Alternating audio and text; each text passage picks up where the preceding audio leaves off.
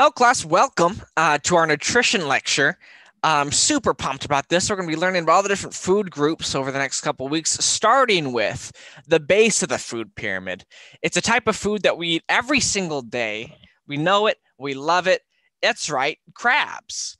Uh, we're learning how why where crabs come from, why we eat them, and Did you mean, sorry, Professor, did you mean carbs? car